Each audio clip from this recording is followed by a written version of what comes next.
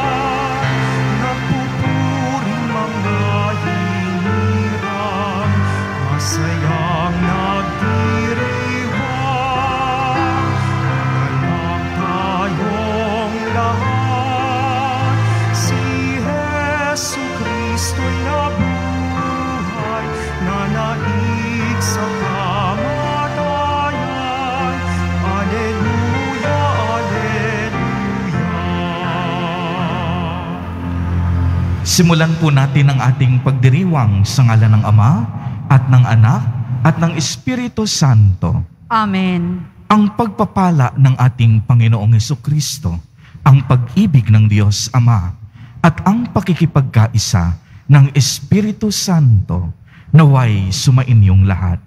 At sumayo rin. Dala ng labis na kalungkutan, kahinaan at kapos na pananampalataya. Tumangging maniwala si Tomas sa napabalitang muling pagkabuhay ni Jesus sa kapangyarihang dulot ng muling pagkabuhay ng Panginoon. Mapalitan nawa ng Panginoon ng tuwa at pananampalataya ang ating pagdududa at takot. Ipinagdiriwang natin ngayon ang linggo ng awa. Pinasimula ni Sister Faustina Kowalska ang debusyong ito para patuloy nating harapin ng may lubos na pagtitiwala sa nag-uumapaw na habag ng ating Panginoon ang mga pagsubok at hamon sa buhay. Sa kaniyang muling pagkabuhay, ipinamalas ng Diyos ang tagumpay ng awa sa kasalanan at kamatayan. Upang tayo ay maging marapat gumanap sa banal na pagdiriwang, aminin natin at pagsisihan ang ating mga kasalanan.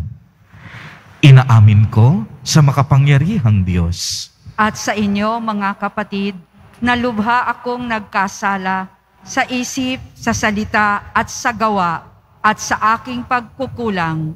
Kaya isinasamo ko sa mahal na Birheng Maria, sa lahat ng mga anghel at mga banal, at sa inyo, mga kapatid, na ako'y ipanalangin sa Panginoong ating Diyos. Kaawaan tayo ng makapangyarihang Diyos. Patawarin tayo sa ating mga kasalanan at patnubayan tayo sa buhay na walang hanggan. Amen. Panginoon, kaawaan mo kami. Panginoon, kaawaan mo kami. Kristo, kaawaan mo kami. Kristo, kaawaan mo kami. Panginoon, kaawaan mo kami. Panginoon, kaawaan mo kami. Gloria in excelsis Deo.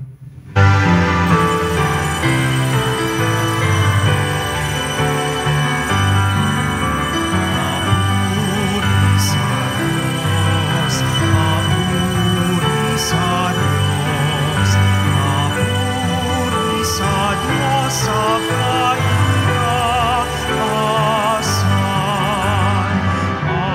sa lupa'y kapayapaan, at sa lupa'y kapayapaan, sa mga taong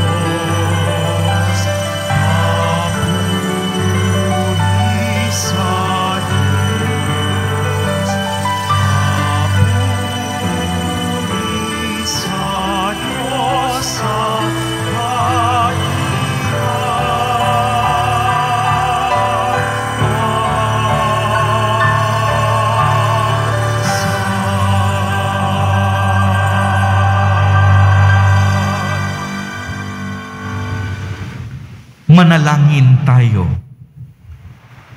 Ama naming makapangyarihan, sa pagdiriwang naming ito ng Pasko ng pagkabuhay ng anak mo, pinag-alab mo ang pananalig sa iyo. Ang kagandahang loob mo sa amin ay lalo mo pang pag-ibayuhin upang maisaloob na mabutin ng lahat ang kadalisayang dulot ng binyag, ang espiritong bigay mo sa iyong mga anak, ang dugong dumanak upang kami ay maligtas sa pamamagitan ni Yesu Kristo kasama ng Espiritu Santo magpa sa walang hanggan. Amen. Magsiupo muna po ang lahat. Pagbasa mula sa mga gawa ng mga apostol.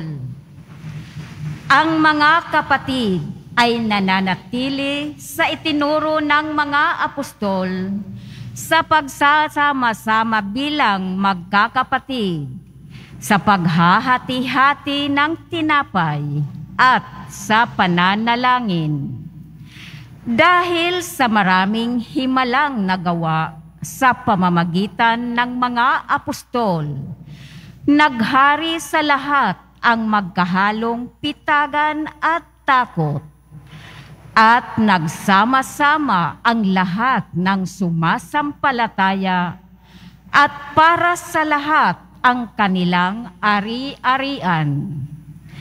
Ipinagbibili nila ito at ang pinagbilhan ay ipinamamahagi sa lahat ayon sa pangangailangan ng bawat isa.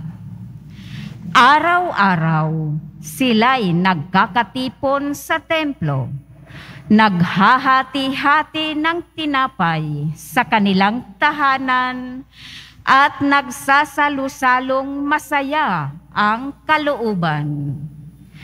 Nagpupuri sila sa Diyos at kinalulugdan ng lahat ng tao. Bawat araw ay idinaragdag sa kanila ng Panginoon ang mga inililigtas. Ang salita ng Diyos. Salamat sa Diyos.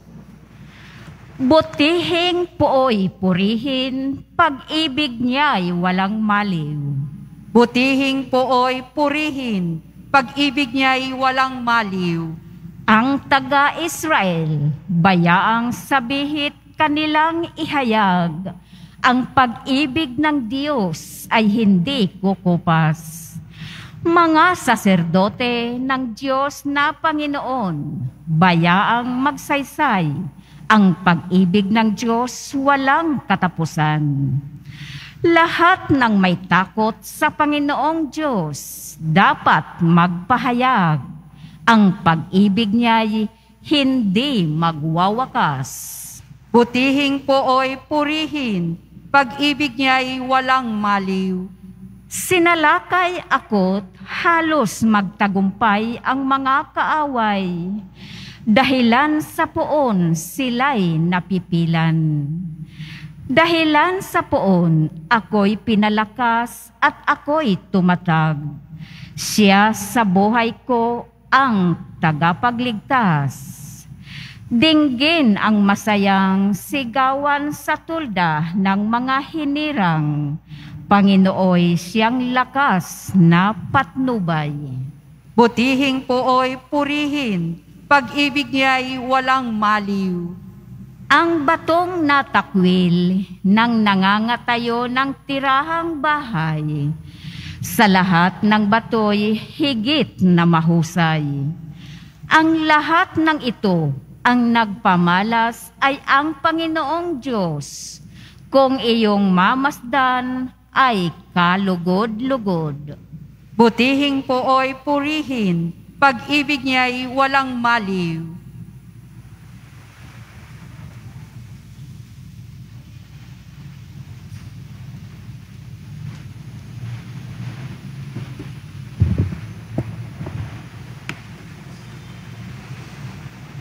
Pagbasa mula sa unang sulat ni Apostol San Pedro.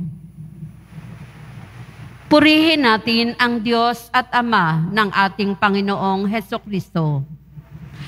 Dahil sa laki ng habag niya sa atin, tayo'y isinilang sa isang panibagong buhay sa pamamagitan ng muling pagkabuhay ni Heso Kristo. Ang bagong buhay na iyan ang nagbigay sa atin ng malaking pag-asa. Nakakamta natin ang isang kayamanang walang kapintasan, di masisira, at di kukupas. Ang kayamanang iyay nakalaan sa inyo doon sa langit. Sapagkat kayo'y sumampalataya, iingatan kayo ng kapangyarihan ng Diyos, samantalang hinihintay ninyo ang kaligtasang nakalaang ihayag sa katapusan ng mga panahon. Ito'y dapat ninyong ikagalak, bagamat maaaring magdanas muna kayo ng iba't ibang pagsubok sa loob na maikling panahon. Ang ginto na nasisira ay pinararaan sa apoy upang malaman kung talagang dalisay. Gayon din naman ang inyong pananampalataya na higit kayo, kaysa ginto ay pinararaan sa pagsubok upang malaman kung talagang tapat. Sa gayon, kayo'y papupurihan, dadakilain at pararangalan sa araw ng mahayag si Heso Kristo. Hindi ninyo siya nakita kailanman, ngunit siya'y inibig na ninyo. Hindi pa rin ninyo siya nakikita magpahanggang ngayon.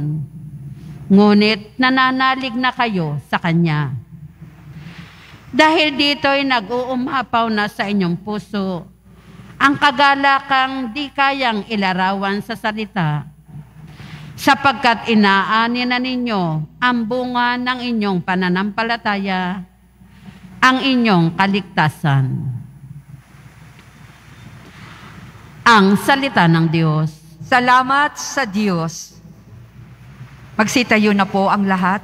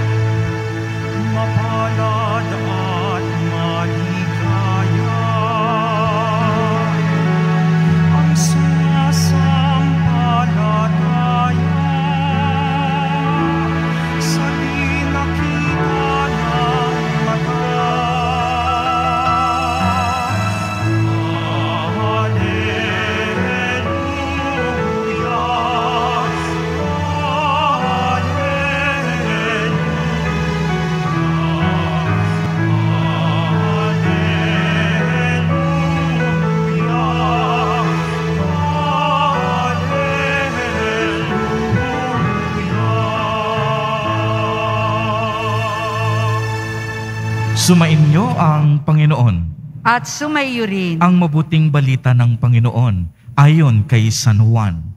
Papuri sa iyo, Panginoon. Kinagabihan ng linggo ding iyon, ang mga alagad ay nagkakatipon. Nakapinid ang mga pinto ng bahay na kanilang pinagtitipunan dahil sa takot nila sa mga Hudyo. Dumating si Jesus at tumayo sa gitna nila. Sumainyo ang kapayapaan, sabi niya. Pagkasabi nito, ipinakita niya ang kaniyang mga kamay at ang kanyang tagiliran. Tuwang-tuwa ang mga alagad nang makita ang Panginoon. Sinabi naman Jesus, Sumainyo ang kapayapaan. Kung paanong sinugo ako ng Ama, gayon din naman sinusugo ko kayo. Pagkatapos, sila'y hiningahan niya at sinabi, Tanggapin ninyo ang Espiritu Santo. Ang patawarin ninyo sa kanilang mga kasalanan ay pinatawad na nga. Ang hindi ninyo patawarin ay hindi nga pinatawad. Ngunit si Tomas, na tinaguri ang kambal, isa sa labindalawa, ay wala roon nang dumating si Jesus. Kaya't sinabi sa kanya ng ibang alagad, Nakita namin ang Panginoon. Sumagot si Tomas, Hindi ako maniniwala hanggat hindi ko nakikita ang butas ng mga pako sa kaniyang mga kamay at naisusuot dito ang aking daliri at hanggat hindi ko na ipapasok ang aking kamay sa kanyang tagiliran. Makalipas ang walong araw, muling nagkatipon sa loob ng bahay ang mga alagad. Kasama nila si Tomas. Nakapinid ang mga pinto. Ngunit pumasok si Jesus at tumayo sa gitna nila. Sinabi niya, Sumain niyo ang kapayapaan. Saka sinabi kay Tomas, Tingnan mo ang aking mga kamay at ilapit dito ang iyong daliri Ipasok mo ang iyong kamay sa aking tagiliran. Huwag ka nang mag-alinlangan. Maniwala ka na. Sumagot si Tomas, Panginoon ko at Diyos ko. Sinabi sa kanya ni Jesus, Naniniwala ka na ba sapagkat nakita mo ako? Mapapalad ang mga naniniwala kahit hindi nila ako nakita.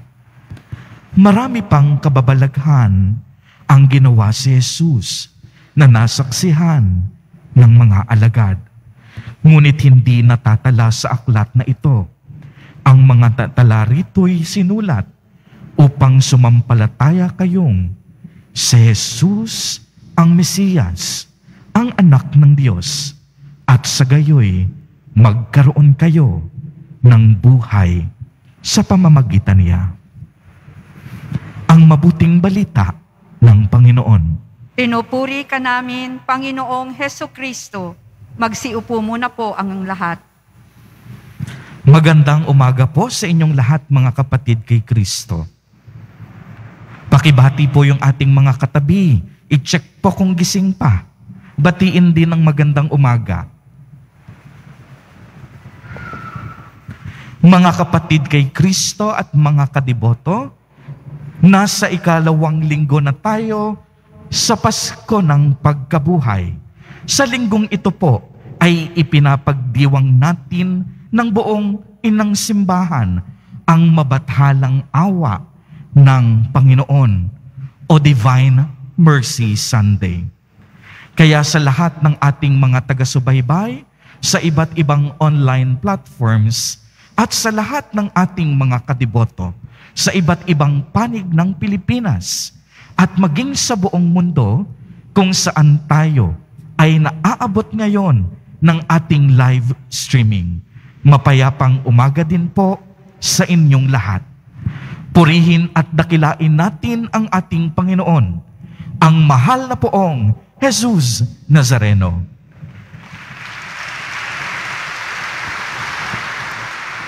Tunay nga pong ang awa ng Diyos ay walang hanggan. Ito ay walang katapusan. Hindi na uubos. Kaya nga't sinasalamin sa Ebanghelyo sa araw na ito, ang banal na awa ng ating Panginoon.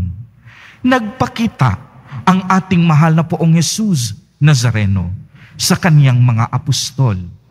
Kung mapapansin ninyo, hindi niya sila inakusahan ng kanilang pagkakanulo at kawalan ng pananampalataya. Ipinakita ng ating Panginoon ang kanyang mga sugat, hindi para sisihin at pagalitan ang kanyang mga apostol, kundi upang buhusan sila ng awa para tiyakin sa kanila na para sa kanila ang mga sugat ni Jesus. Na kahit anong sugat pa yan, hindi yan katatakutan ng Panginoon. Alang-alang sa pag-ibig niya sa sanlibutan. Na ang mga sugat na ito sa bandang huli ang magdadala rin sa atin sa kanyang dakilang awa at pagmamahal. Ang mga sugat din ni Jesus sa pamamagitan ng kanyang awa ang magpapabago sa ating puso at kalooban. Uulitin ko po, napakahalaga nito. Ang mga sugat ni Jesus sa pamamagitan ng kanyang awa ay ang magpapabago ng ating puso at kalooban. Narinig natin yan sa ating ebanghelyo. Napakinggan natin ang nagdududang si Tomas. Si Tomas mismo sumisimbolo sa bawat isa sa atin. Tayong lahat po ay kagaya ni Tomas, punong-puno ng pangamba at pag-aalinlangan. Ang puso niya, ang laman, takot at pagdududa. Nabigo si Tomas na maniwala sa muling pagkabuhay ng kaniyang Panginoon. Ayon sa kanya, ang tanging pagkakataon lamang na siya ay maniniwala kung ito ay masasaksihan mismo ng kanyang mga mata. Ngunit nang mapakita na si Jesus sa kanya, agad siyang naniwala. Mga kapatid kay Kristo at mga kadiboto, pansinin po ninyo ito.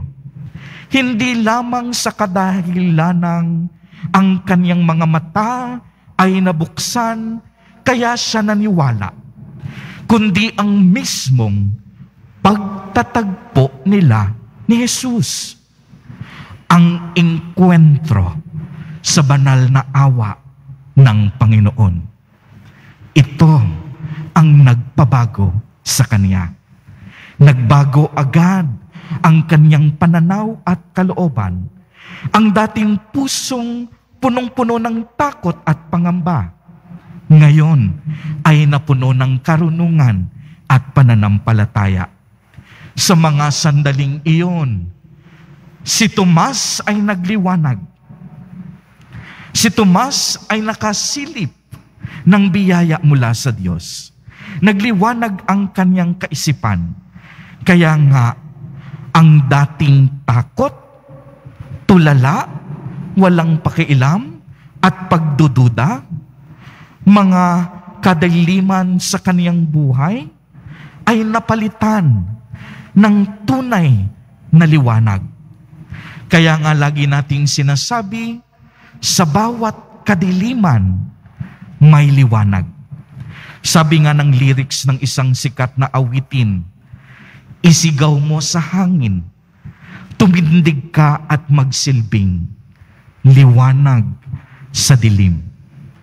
Mga kapatid kay Kristo at mga kadiboto, ito ang misyong ipinagkatiwala sa atin ng ating Panginoon. Ipinagkatiwala sa mga apostol na hanggang sa kasalukuyan ay ipinagkakatiwala sa bawat bininyagan at sumasampalataya sa Kanya. Na tayong lahat din naway magsilbing liwanag sa gitna ng mundong punong-puno ng kadiliman. Kaya nga po masasabi natin na ang ating Nuestro Padre, Jesus Nazareno, ay ang tunay na liwanag at ang tunay na pinagmumulan ng lahat ng liwanag.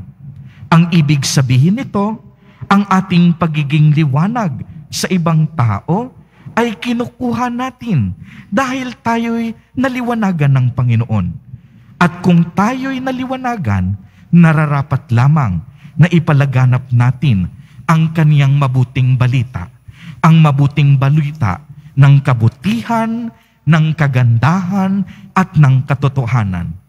Kailangan nating ipagkatiwala ang lahat sa kaniyang dakilang awa.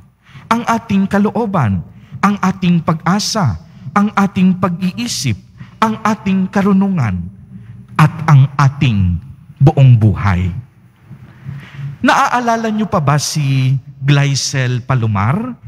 Yung labing dalawang taong gulang na batang nakaantig sa puso ni Pope Francis noong siya ay dumalaw sa ating bansa taong 2015. Si Glycel po ay isang batang ibinando na ng kaniyang mga magulang. Alam po ninyo, hindi niya napigilang maluha habang tinatanong niya ang Santo Papa. Ito yung tanong niya. Sabi niya, bakit po pumapayag ang Diyos na may ganitong mangyari kahit walang kasalanan ang mga bata? Marami po ang mga batang pinabayaan ng kanilang magulang. Marami sa kanila masama ang nangyari. Naging biktima ng droga at prostitusyon. Bakit kakaunti lamang ang tumutulong at naaawa sa aming nangangailangan? Para kay Glycel, napakaliit ng tinig nila para mapakinggan. At tila baga, hindi sila napapansin at kinaawaan ng lipunan. Kaya naman, ito ang tugon ng Santo Papa. Ang iyong katanungan, halos walang kasagutan. Bakit labis na nagdurusa ang mga bata? Ang ilang katotohanan sa buhay ay nakikita lamang natin sa pamamagitan ng mga matang nilinis ng ating mga luha. Idinagdag pa ng Santo Papa, si Glycel lang ang nagtanong na walang sagot at hindi niya ito na ipahayag sa kanyang mga salita. Tanging sa kanyang luha. Bakit sobrang naghihirap ang mga batang wala namang kasalanan. Kapag ang puso ay kayang magtanong sa sarili at umiyak, saka natin ito maiintindihan. Napakaganda ng sagot ng Santo Papa, uulitin ko. Kapag ang puso daw ay natutong magtanong sa sarili at umiyak, sa Kanya ito naiintindihan. Kaya nga matapos ang testimonya ng bata, nilapitan ito ng Santo Papa. Niyakap, hinaplos, habang ang bata ay tahimik na umiiyak. Kaya nga ito yung mga tanong kung paano tayo hinahamon ng ating Santo Papa. Kailangan nating tanungin ang ating mga sarili. Natuto na ba akong umiyak para sa isang taong tunay na nangangailangan ng aking tulong? Natuto na ba akong umiyak para sa isang taong may problema? Natuto na ba akong magbigay ng awa at habag para sa kanila? mga kapatid kay Kristo at mga kadiboto. Ang taong naliwanagan ni Kristo, marunong ding magbahagi ng awa para sa iba. Tayong lahat kinaawaan ng Diyos.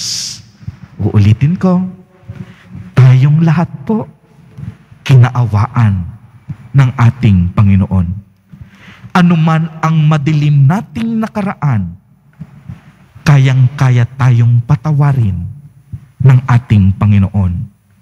Sapagkat tanging awa at pagmamahal ng Diyos ang sa kahuli-hulihan ang siyang magliligtas sa ating lahat. Amen. Purihin at dakilain natin ang ating Panginoon.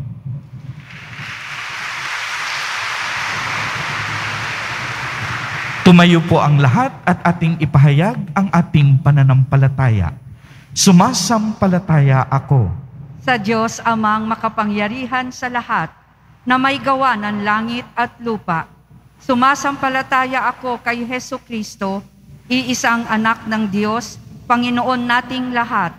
Nagkatawang tao siya, dalang ng Espiritu Santo, ipinanganak ni Santa Mariang Birhen, pinagpakasakit ni Poncio Pilato, ipinako sa krus, namatay, inilibing, nanaog sa kinaroroonan ng mga yumao, nang may ikatlong araw na buhay na maguli, umakyat sa langit, naluluklok sa kanan ng Diyos amang makapangyarihan sa lahat. Doon magmumulang paririto at huhukom sa nangabubuhay at nangamatay na tao. Sumasampalataya naman ako sa Diyos Espiritu Santo, sa banal na simbahang katolika, sa kasamahan ng mga banal, sa kapatawaran ng mga kasalanan, sa pagkabuhay na muli ng nangamatay na tao, at sa buhay na walang hanggan. Amen. Taglay ang pagtitiwala. Dumulog tayo sa ating Diyos na lubos ang awa at pag-ibig sa atin. Sa bawat panalangin, ang atin pong itutugon, maawaing Diyos, dinggin mo kami. Maawaing Diyos, dinggin mo kami.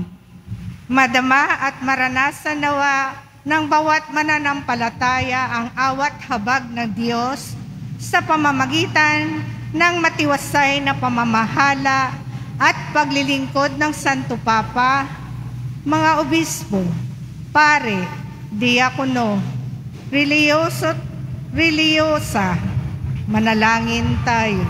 Maawaing Diyos, dinggin mo kami.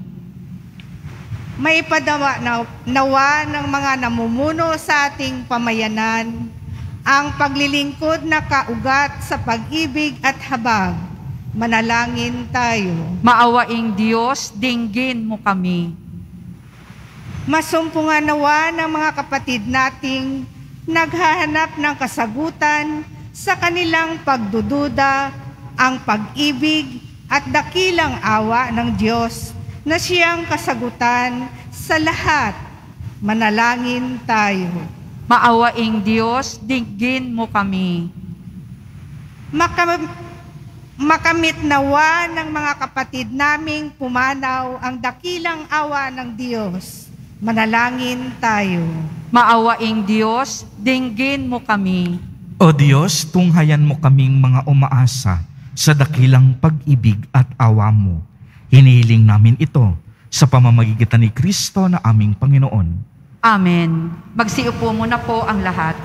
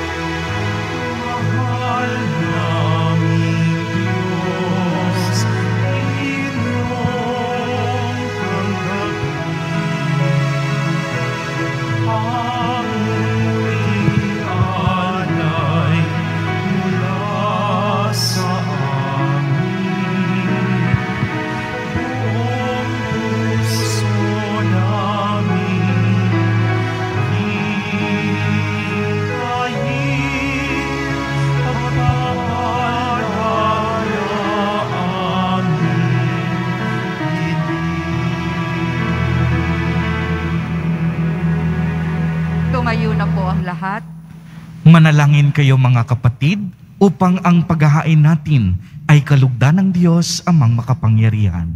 Tanggapin nawa ng Panginoon itong paghahain sa iyong mga kamay, sa kapurihan niya at karangalan, sa ating kapakinabangan at sa buong sambayanan niyang banal. Ama naming lumikha, tunghayan mo ang mga alay ng iyong sambayanan upang ang iyong binigyan ng bagong buhay sa pagsampalataya sa iyong ngalan at pagkadalisay noong sila'y binyagan ay makapakinabang sa ligayang walang katapusan sa pamamagitan ni Yesu Kristo kasama ng Espiritu Santo magpa sa walang hanggan. Amen. Sumainyo ang Panginoon. At sumayo rin. Itaas sa Diyos ang inyong puso at diwa. Itinaas na namin sa Panginoon. Pasalamatan natin ang Panginoong ating Diyos. Marapat na siya ay pasalamatan. Ama naming makapangyarihan, tunay ngang marapat na ikaw ay aming pasalamatan, lalo ngayong ipinagdiriwang ang paghahain ng Mesiyas, ang maamong tupa na tumubos sa aming lahat. Ang iyong anak na minamahal ay naghain ng sarili niyang buhay. Siya ang tupang maamong umako sa kaparusahan upang mapatawad ang kasalanan ng sanlibutan. Sa pagkamatay niya sa banal na krus, ang kamatayan namin ay kanyang nilupig. Sa pagkabuhay niya bilang manunubos, pag-asa't pagkabuhay ay aming nakamit. Kaya kaisa ng mga anghel na nagsisiawit ng papuri sa iyo, nang walang humpay sa kalangitan, kami nagbubunyi sa iyong kadakilaan.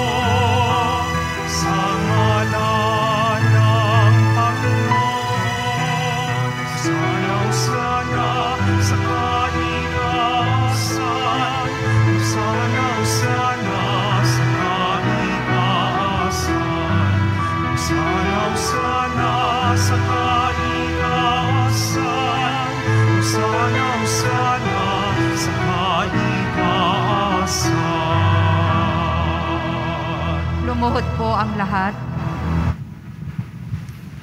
Ama naming banal, ikaw ang bukal ng tanang kabanalan. Kaya't sa pamamagitan ng iyong Espiritu, ay gawin mo pong banal ang mga kaloob na ito upang para sa amin ay maging katawan at dugo ng aming Panginoong Heso Kristo. Bago niya pinagtiis ang kusang loob na maging handog, hinawakan niya ang tinapay, pinasalamatan kaniya, pinaghati-hati niya iyon, iniabot sa kaniyang mga alagad at sinabi, Tanggapin ninyong lahat, ito at kanin. Ito ang aking katawan na ihahandog para sa inyo.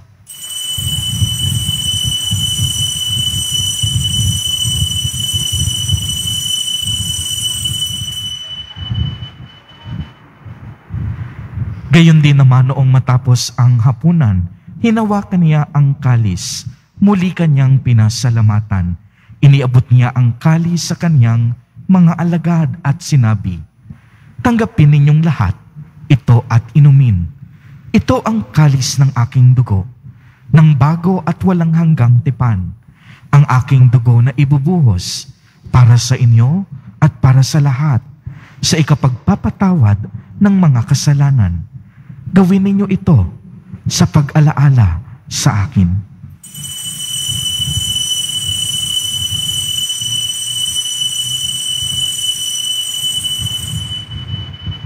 Tumayo po ang lahat.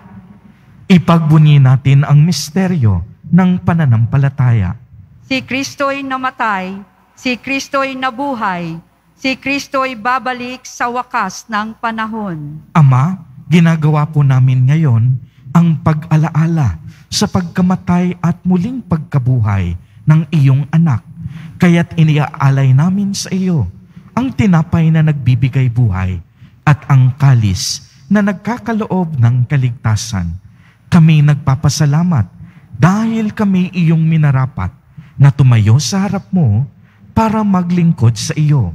Isinasamo naming kaming magsasalo-salo sa katawan at dugo ni Kristo ay mabuklod sa pagkakaisa sa pamamagitan ng Espiritu Santo.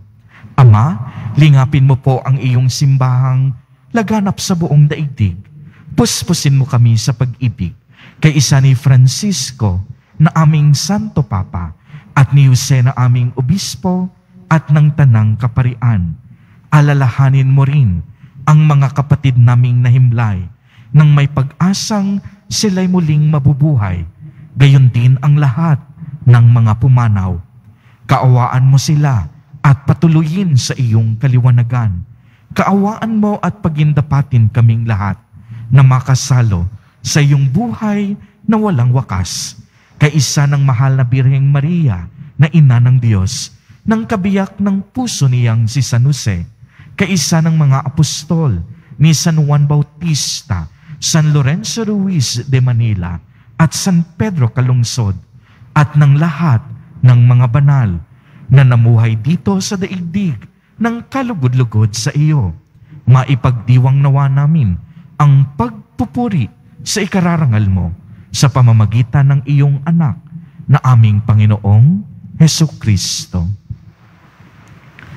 Sa pamamagitan ni Kristo, kasama niya at sa Kanya, ang lahat ng parangal at papuri ay sa iyo. Diyos amang makapangyarihan, kasama ng Espiritu Santo, magpa sa walang hanggan. Amen.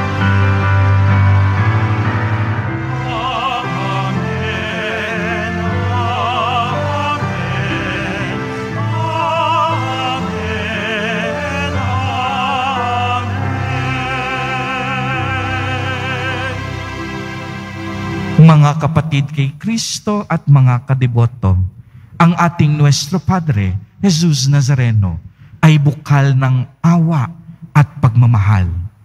Tayong lahat, kinaawaan ng Diyos. Nararapat din tayong magbigay ng awa sa ating kapwa. Sa tagubilin ng mga nakagagaling na utos at turo ni Jesus na Panginoon natin at Diyos, ipahayag po natin ng lakas loob. Ama namin, sumasalangit ka. Sambahin ang ngalan mo, mapasa amin ang kaharian mo, sundin ang loob mo dito sa lupa para ng sa langit. Bigyan mo kami ngayon ng aming kakanin sa araw-araw at patawarin mo kami sa aming mga sala para ng pagpapatawad namin sa nagkakasala sa amin at huwag mo kaming ipahintulot sa tukso at iadya mo kami sa lahat ng masama. Hinihiling namin na kami ay iadya sa lahat ng masama, pagkalooban ng kapayapaan araw-araw, iligtas sa kasalanan, at ilayo sa lahat ng kapahamakan, samantalang aming pinananabikan ang dakilang araw ng pagpapahayag ng tagapagligtas naming si Heso Kristo. sapagkat iyo ang kaharian at ang kapangyarihan at ang kapurihan magpakailanman. Amen. Panginoong Heso Kristo, sinabi mo sa iyong mga apostol, kapayapaan ang iniiwan ko sa inyo. Ang aking kapayapaan ang ibinibigay ko sa inyo.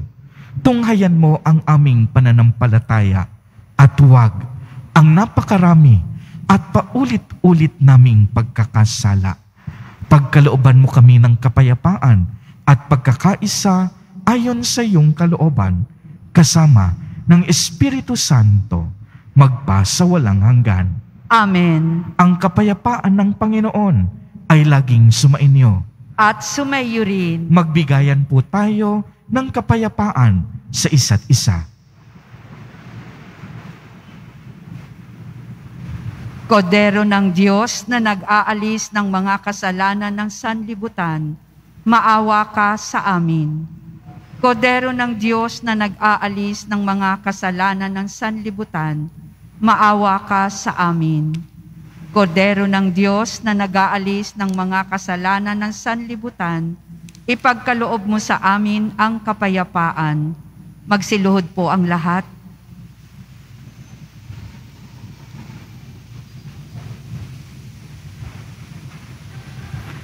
Mga kapatid kay Kristo at mga kadiboto, narito ang ating Nuestro Padre, Jesus Nazareno. Lumapit tayo sa Kanya at magbalik loob. Ito ang kordero ng Diyos. Ito ang nag-aalis ng mga kasalanan ng sanlibutan. Mapapalad po tayo na inaanyayahan sa Kanyang piging. Panginoon, hindi ako karapat-dapat na magpatuloy sa iyo, ngunit sa isang salita mo lamang ay gagaling na ako. Ipagsanggalang nawa ako ng katawan at tugo ni Kristo para sa buhay na walang hanggan. Amen.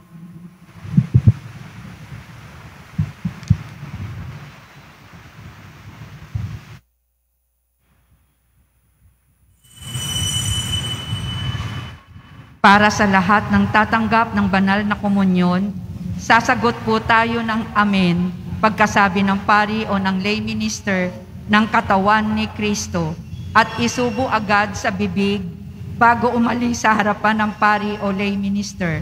Sumunod po tayo. Maraming salamat po. ating